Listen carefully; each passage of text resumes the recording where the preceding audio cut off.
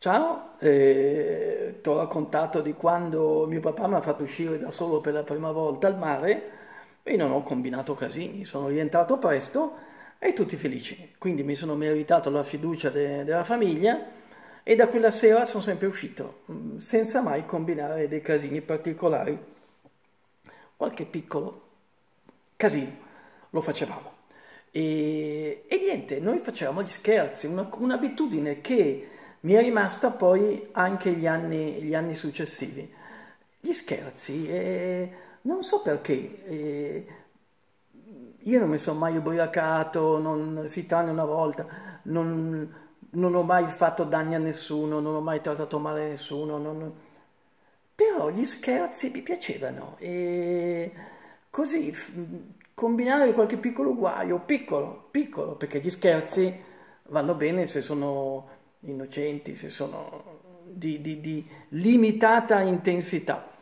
Allora, uno scherzo che facevamo tanto lì al mare, a Torre Pereira, vicino a Rimini, era il tiro alla fune. Cioè ci mettevamo in due da un ciglio della strada e altri due dal ciglio della strada, magari una strada minore, quelle stradine che ci sono all'interno dei paesini della riviera, no? C'è il lungomare, poi c'è una stradina ancora più interna parallela e altre magari due o tre più interne, fino ad arrivare alla ferrovia, no? Ecco, noi andavamo nella strada che era addirittura dietro alla ferrovia, quindi passavano pochissime ma- macchine, però ne passavano. E facevamo il tiro da fune finto, cioè ci mettevamo in due da un, da un lato e in due dall'altro lato a far finta di fare il tiro da fune. Ma non c'era la fune.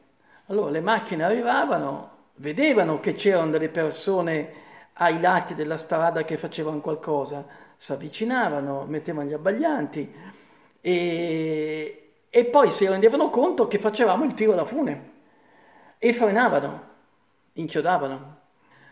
Poi si fermavano e dicevano: Ma vi sembra eh, il caso di fare il tiro da fune in mezzo alla strada? E noi? Ma che fune? Non c'è nessuna fune, è uno scherzo.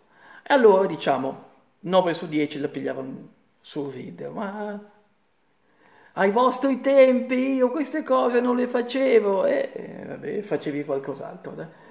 E quindi il tiro da fune è uno scherzo simpatico. Una volta invece nel tiro da fune è incappato un tipo enorme, non ci stava neanche nella macchina, io me la ricordo ancora la macchina, era una 1100 giardiniera blu col portapacchi sopra. Lui non ci stava dentro e la 1100 era, era grossa come macchina, eh, non ci stava dentro. Si è fermato, è sceso, c'è corso dietro, eh, voleva picchiarci. Ah, Madonna, calmati, esagera, cosa abbiamo fatto poi? E insomma, alla fine noi siamo scappati e lui niente, è risalito sulla macchina e è andato via. E abbiamo saputo che eh, era un certo Bilancioni. Adesso non ci sarà più, penso, perché era già di una certa maturità allora, era 50 anni fa, 40 anni fa, e voleva farci il culo. Vabbè, forse ci aveva ragione, forse, forse era esagerato, te la prendi con dei ragazzini, gli corri dietro e quando mi prendevi cosa facevi? Mi davi due schiaffi? Poi finivi nei guai, eh? Quindi bilancioni, ti è andata bene che noi siamo scappati e non ci hai preso. Eh, un altro scherzo, tutti scherzi stupidi, eh, ma scherzi che fanno ridere i ragazzini di 14 anni. Un altro scherzo che facevamo, ma lo facevamo di giorno, eh, considera che stavano arrivando i primi marocchini, che da noi erano sconosciuti. E dove arrivavano? Non arrivavano in città, arrivavano al mare a cercare di vendere i tappeti. Allora vendevano i tappeti, le tovaglie, i tappeti. E loro cosa facevo? Mi ero preso un tappeto, me l'ero messo sulla testa e mi ero seduto su una panchina sul lungomare di giorno e, e cominciavo io volevo stare Italia. Italia Italia bella Italia. Vendo tappeti. Facendo lo scemo così no? E oh, si era formato un capannello di persone. Adesso non farebbe più effetto. Perché? Che effetto fa un marocchino che vuol vendere i tappeti? Tra l'altro 50 anni fa vendeva i tappeti, adesso ancora con la valigetta davanti al supermercato a vendere cazzate. Cioè non si sono evoluti in 50 anni di, di esportazione, di migrazione. Vabbè, questo è un pensiero che non c'entra niente con, la, con gli scherzi. E niente, allora non c'erano le telecamere, sì, c'erano i, i videootto, le cineprese, così, ma noi non ce l'avevamo, per cui non ho testimonianze di questa cosa, eravamo quattro o cinque amichetti che facevano questa cosa, ma si saranno fermati almeno, eh, ti dico, 20-30 persone. Oh, un altro scherzo invece, sto qui un po' più bastardo, un po' più cattivello, e cosa facevamo? Avevamo notato che eh, se tu passeggi, cazzeggi, passeggi sul lungomare e, e vedi una pallottola di carta per terra, cosa fai? Gli dai un calcio? Ti senti calciatore, gli dai un calcio? Così, ma perché nessuno la salta, la gente la prende a calci. Non so perché, non so chi ha avuto l'idea, non so chi l'ha inventata, fatto sta che ci siamo trovati eh, poco prima dell'uscita serale, siamo andati sempre sul viale dietro la ferrovia, abbiamo preso un giornale, fa un po' schifo la cosa, eh? ve lo dico prima, e abbiamo fatto la cacca, tutti tre o quattro amici, dentro a questo foglio di giornale. Poi, facendo attenzione a non toccarla, l'abbiamo appallotolata. Pensa che schifo, ce la siamo portata dietro, da fuori non si vedeva niente, no? e, e l'abbiamo messa in mezzo al marciapiede. Eh, marciapiedi comunque anche abbastanza larghi, no? Noi fermi così, come il papero Piero, no? Cioè come con l'aria innocente, fermi sulla panchina a guardare. E noi arriverà, arriverà, eh, guarda, stiamo qua due ore ma arriva e intanto uno va a pigliare un ghiacciolo, un altro va a pigliare un cono con la panna, mega panna, un altro dice devo fare una telefonata e andava alla cabina, e andava... insomma siamo rimasti lì tre ore fino a che arriva lui.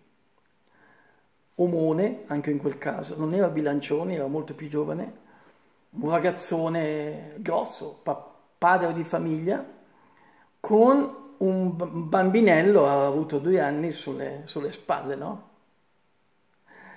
Aveva le ciabatte.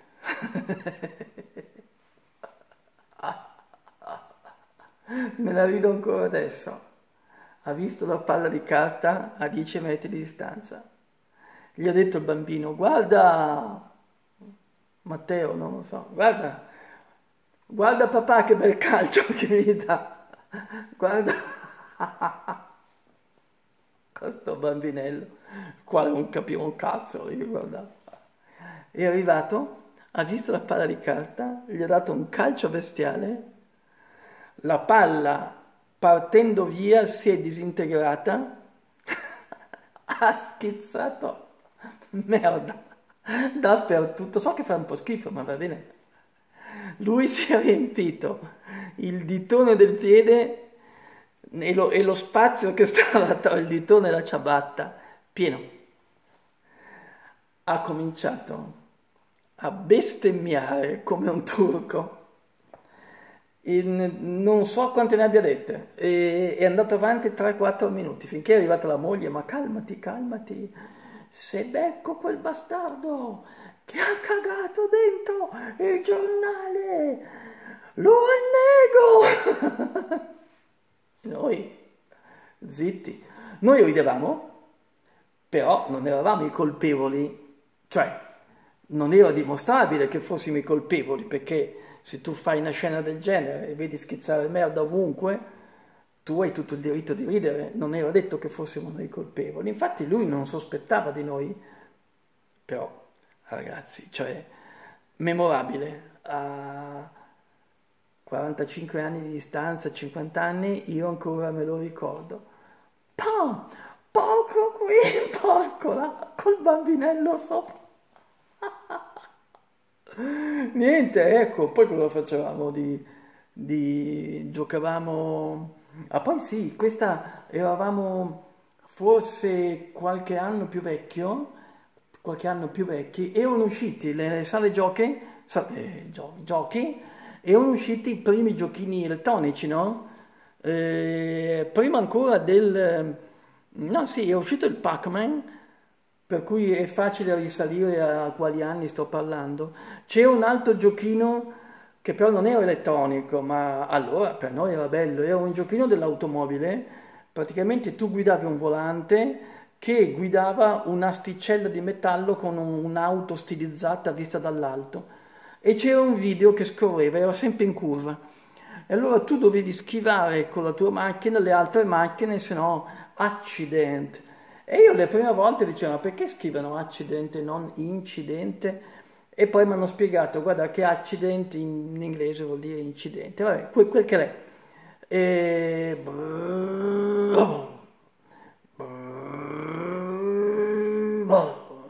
E allora niente, ci divertavamo con le 100 lire, con le 50 lire. Eh? E, e, invece quando, eh, oltre al Pac-Man, era uscito Donkey Kong, il primo giochino di eh, Mario, quello che allora non si chiamava ancora Mario, era, almeno noi non lo sapevamo che si chiamasse Mario. E um, poi sale la scaletta e poi, e poi da sopra c'era lo scimmione che buttava giù le botti, no? E se ti beccavamo morivi, no? E cosa succedeva? Che se tu andavi al mattino presto nella sala giochi, tipo alle 10, quando aveva aperto da, pochi, o, da poco, o il bar che aveva la macchinetta, e tu vincevi, non è che vincevi niente, avevi la possibilità di mettere il tuo nome tra i vincenti, perché dopo alla sera la macchinetta non memorizzava, per cui era sempre vergine il giorno dopo, per cui i primi che giocavano erano di sicuro vincenti. Allora io andavo e vince, vincevo per forza, e eravamo i primi, i primi 3-4 che giocavamo e mettevamo il nome, solo che si poteva mettere un nome corto, tre lettere. La prima volta dicevo, mettevo il nome Cic, di Ciccio, no?